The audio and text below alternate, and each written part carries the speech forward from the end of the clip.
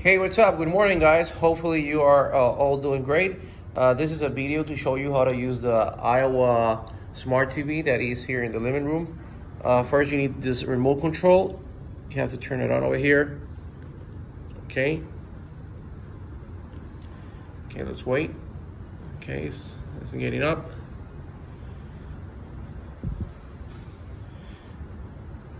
Okay, so now it has the cable TV on. Uh, if you want to use, for example, Netflix, you'd have you just have to press over here Netflix, the Netflix button, and that's it. You're in. And if you want to go back to the um, cable TV, you go here, you press Source.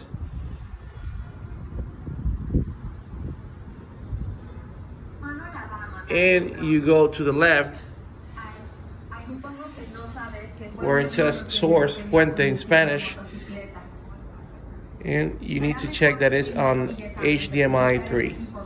So it's there. Uh, there's another remote control to use the cable TV that is this one. To change the channels, you just use these buttons over here.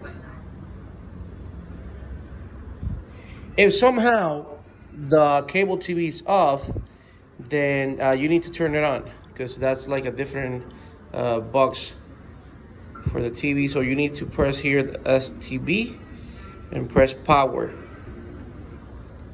You see, it's off. If you want to turn it on, it says over there, press OK. And that's it. Well, uh, hope it, uh, it helps. And any question, anything else, just let us know. We will gladly help you. Take care.